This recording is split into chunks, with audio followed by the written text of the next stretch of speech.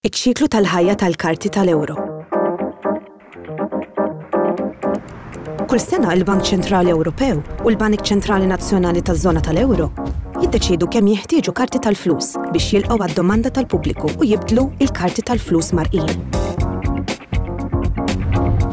Il-Banek Ċentrali Nazzjonali mbagħad jipproduċu il-karti tal-flus. Il-kwalità tagħhom tiġi verifikata bir-reqqa qabel ma jinġarru lejn il-banek kummerċjali. Kull bank għandu jkollu biżżejjed karti tal-flus għall-klijenti tiegħu li jiġbdu l-karti tal-flus u jixtru bihom. Meta tal-ħanut idaħħal il-karti tal-flus, għandu jiċċekkja li jkunu tajbin. Il-klijenti min-naħa tagħhom jirċievu l-karti tal-flus mal-bqija li jistgħu jiċċekkjawhom malajr qabel ma jaċċettawhom billi jużaw il-metodu ħoss, ħares u mejjel.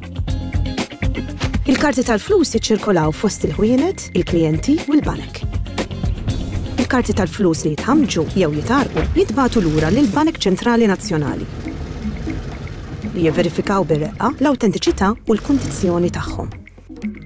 Il-karti tal-flus li ma jkunux f'kundizzjoni tajba jinqerdu u jiġu sostitwiti b'oħrajn ġodda. Il-karti tal-flus tajbin jerġgħu jidħlu fiċ-ċirkolazzjoni Dan jista' jiġri bosta drabi jekk jibqgħu f'kundizzjoni tajba. U imbagħad iċ-ċiklu jerġa' jibda. L-ewro, flusna.